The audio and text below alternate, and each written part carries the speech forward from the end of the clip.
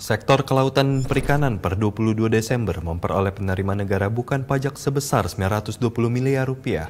Menurut Menteri Kelautan dan Perikanan Sakti Wahyu Tenggono, angka 920 miliar rupiah ini melebihi capaian tahun lalu, yakni sejumlah 643,6 miliar rupiah.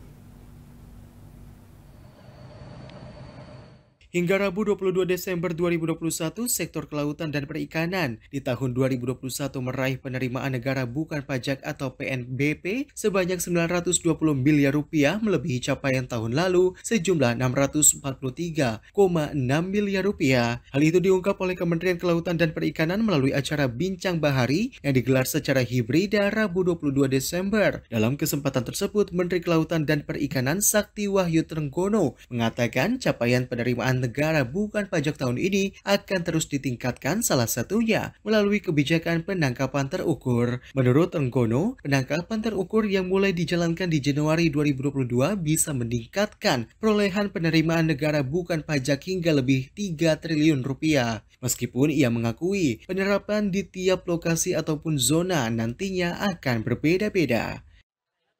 Saya sih sejujurnya kepengennya langsung bergerak semua.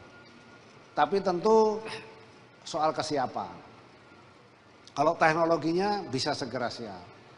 Armada pengawasnya kapalnya masih kurang, lagi ngorder. Jadi mungkin kita geser dulu ke satu lokasi dulu atau dua lokasi. Syukur bisa dua atau tiga lokasi atau tiga zona kita bisa jalankan.